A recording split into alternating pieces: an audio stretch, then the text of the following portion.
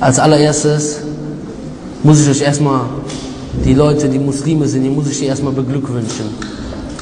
Weil man muss sich eine Sache, muss man sich ganz, ganz deutlich bewusst sein.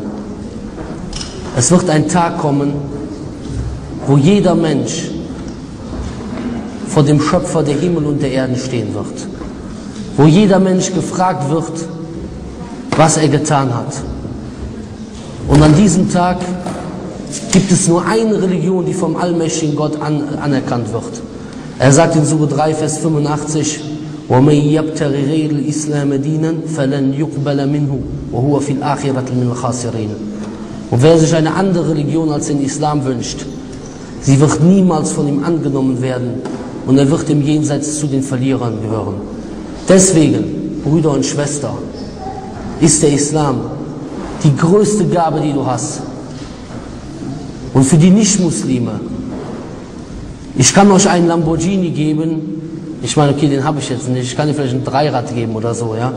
Ich könnte dir einen Lamborghini geben oder irgendwas geben oder irgendwas auf der Welt geben, aber glaub mir, das Beste, was ich einem geben kann, ist der Islam. Der Islam ist das Beste, was ein Mensch haben kann, weil das ist die größte Ni'ma, die größte Gabe, die Allah subhanahu wa ta'ala, der Schöpfer der Himmel und der Menschen, den, den, den Menschen gegeben hat. Er sagt im Koran, in Surah 5, Vers 3, El-Yum akmaltu lakum dinakum. Heute habe ich eure Religion vervollkommnet. Wa atmamtu alaykum ni'mati. Und meine Gnadengaben an euch ausgeschüttet. Warum? Wa raditu lakum al-Islam dina. Und bin mit dem Islam für euch als Religion zufrieden. Also dass diese Religion perfekt ist. Und es wird ein Tag kommen. Viele Menschen sind heute am Schlafen. Viele Menschen wissen nicht, wofür sie leben. Das Leben ist jetzt scheitangerecht. Der Mensch steht morgens auf, geht um 8 Uhr zur Arbeit, kommt abends um 7 Uhr wieder und hat sich keine Gedanken gemacht. Danach schaltet der Fernseher ein und schaut sich die Lindenstraße an und weiß nicht, worum er lebt.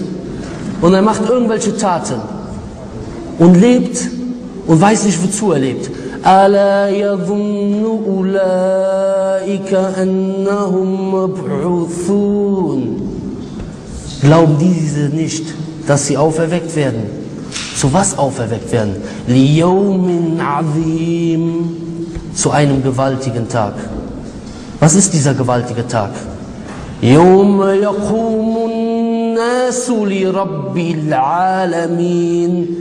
An dem Tag, wo die Menschen vor dem, Schöpf, vor dem Herrn der Welten stehen werden.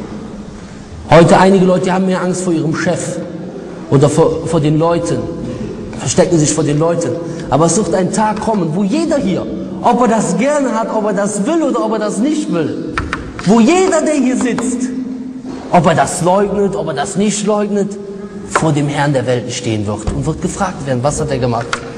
Und wie ich schon gesagt habe, deswegen die größte Sache, die du hast, das detaillierte Programm, wie du das Paradies bekommst, ist Islam.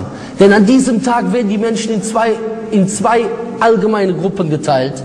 Die eine Gruppe wird in Jahannam gehen und die andere Gruppe wird ins Paradies gehen. Was ist das Jahannam? Was ist die Hölle?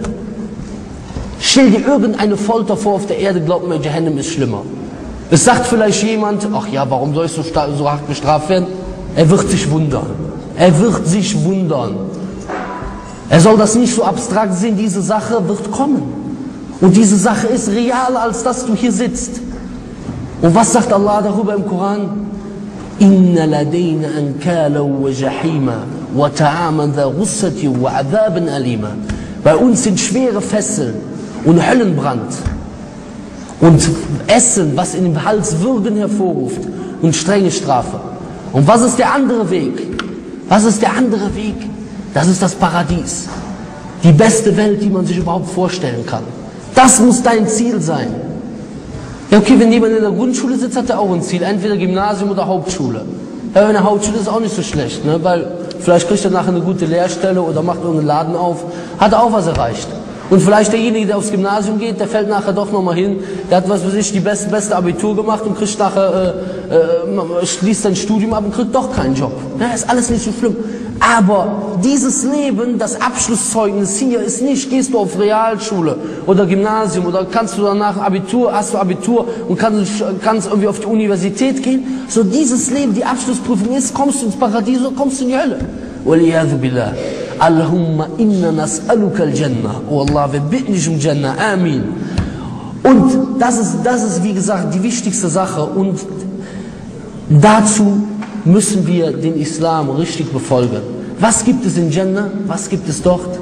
Was sagt Allah im heiligen Hadith? Er sagt sinngemäß, ich habe für meine äh, rechtschaffenen Diener, inni adattu li ibadi salihina, ich habe für meine rechtschaffenen Diener vorbereitet, ma la ra'at, was kein Auge gesehen hat, wala udhnun sami'at und kein Ohr gehört hat, wala khatara ala qalbi bashar. Und was nicht überhaupt im Herzenswunsch eines Menschen vorstellbar ist. Das ist vorbereitet. So. Und jetzt muss man eins wissen, und das sollte wirklich jeder, der dieses Ziel erreichen will, der sollte sich dafür interessieren, was er für einen Feind hat auf diesem Weg. Denn wir haben einen Feind auf diesem Weg und dieser Feind hat dem allmächtigen Gott geschworen, dass er jeden Einzelnen, der hier sitzt, in die Hölle bringen will. Jeden Einzelnen. Und jeder Einzelne von uns, der hier sitzt, der wird beeinflusst von ihm. Und dieser Feind ist der Shaitan, der Satan, der große Satan. Und er will die Menschen in die, in die Irre leiten. Und das ist das Einzige, wofür er lebt.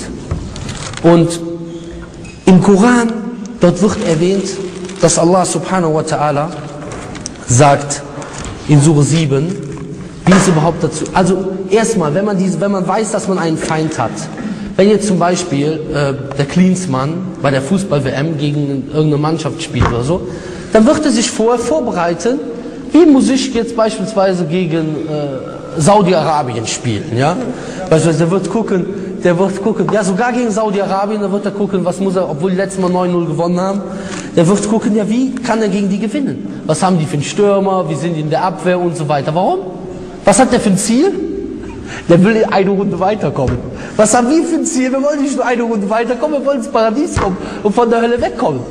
Also warum beschäftigt sich Jürgen Klinsmann mit Saudi-Arabien und wir beschäftigen uns nicht mit unserem Feind? So, das heißt, man nimmt die Sache gar nicht so richtig für voll, ehrlich gesagt.